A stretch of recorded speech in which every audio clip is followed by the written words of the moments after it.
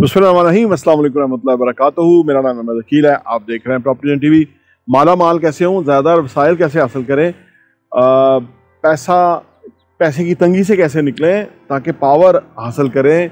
ज़िंदगी असूदा हो खुशहाल हो। इसके ऊपर हमने बड़ी ख़ास प्रोग्राम शुरू किया है उससे क्या बात करने जा रहे हैं क्या बातें इंपॉर्टेंट हैं कारोबार में तरक्की करने के लिए पैसा कमाने के लिए आइए डिस्कस करते हैं।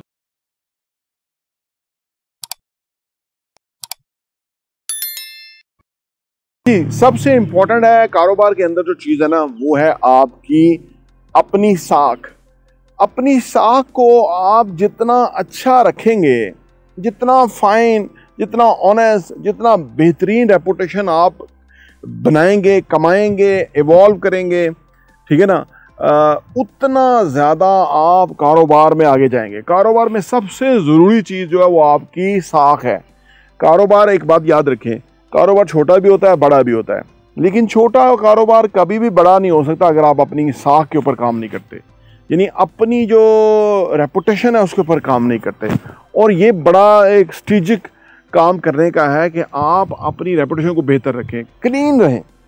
कोई अपने ऊपर कोई ऐसी चीज़ ना आने दें लालच ना करें ईमानदार रहें, ठीक है? लोगों को ऑनेस्टी के साथ फेयरनेस के साथ खंदा पेशानी से पेश आएँ। उनके मफादात का बेहतरीन ख्याल रखें। लोग आपके साथ जुड़ना शुरू हो जाएँगे। एक से एक लोग आपके साथ आना शुरू हो जाएँगे। और इसके ऊपर जितना ज़्यादा काम करेंगे, जितना ज़्यादा इसको मुकदम रखेंगे, कभी मेरी जो पर्सनल रेपुटेशन है, वो ख़राब नहीं होनी चाहिए। साख मेरी बेहतरीन रहनी चाहिए। किसी के साथ ज़्यादती नहीं होनी चाहिए, गलत नहीं होना चाहिए। उतना आप न सिर्फ़ जल्दी तरक्की करेंगे, बल्कि वो बड़ी देर पा तरक्की होगी। और यहाँ एक और बात याद रखना ज़रूरी है के साथ आप अपने कारोबार पे करते काम करते हुए या कुछ भी आप काम कर रहे हैं ना, आपको पैसे को साइड पे करना आना चाहिए। यानी पैसे को आप चैनलाइज करें साइड पे करें, कोई ऐसी ऐसी असासे बनाएँ कि जो आपका कारोबार भी चलता रहे और वो भी बनते रहें। इसका आपको फ़ायदा होगा। आने वाले स्टेज में ना, ये जो पैसा आप थोड़ा पसंदाज करेंगे अपने लिए, ये आपको बहुत फ़ायदा देगा।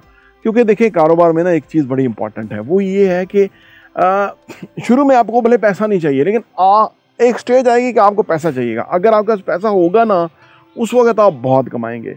सरमाया चाहिए होता है आपके पास ऐसे अपॉर्चुनिटी होती है कि आप फ़र्ज़ करें कि आप करोड़ रुपया लगाएँगे करोड़ ही कमाएँगे। लाख रुपया लगाएँगे लाख ही कमाएँगे। आप दस करोड़ होगा दस करोड़ कमाएँगे। बीस करोड़ होगा बीस करोड़ कमाएँगे। लेकिन ये बात ये ये चीज़ किसी थोड़े अरसे के बाद आती है कारोबार में। एक सर्टन स्टेज आती है। लेकिन आपको पहली स्टेज के ऊपर जो है वो अपनी जो रेपुटेशन है, अपनी जो साख है, उसको क्लीन क्लियर अपडेट रखना है। दूसरे में अंदर आपने काम करना है और काम करते हुए लालच नहीं करना, ज़िम्मेदारी से, ईमानदारी से काम करना, लेकिन पैसा जो कमाएँगे, उस पैसे को सही जगह पे इन्वेस्ट करना आपको आना चाहिए। चाहे वो थोड़े थोड़े पैसे हो, दस लाख रुपया हो, उसको आप कहीं जगह इन्वेस्ट करें और अपना कारोबार अगर आपका आप उसके बगैर चल रहा है तो बेहतरीन है। यानी उसको भूल जाए इन्वेस्ट करके फॉर सर्टन पीरियड एक टाइम आएगा कि वो पैसा जो दस लाख था वो करोड़ बन जाएगा और उस वक्त आप करोड़ से करोड़ कमाने की पोजिशन में आ जाएँगे। बिल, ये कारोबार में बिल्कुल इस तरह है। ये चीज़ें बड़ी सिंपल हो जाती हैं। उस, जब आप वहाँ पहुँच जाते हैं ना तो ये चीज़ें आसान हो जाती हैं आम फहम तरीके से आपको समझ आना चाहिए। लेकिन शुरू में नहीं आती। शुरू में हम आपको इसलिए बता रहे हैं कि आप इस चीज़ को मद्देनजर रखें कि इस वक्त की शुरू में आप कमाने की तरफ़ ना जाएँ।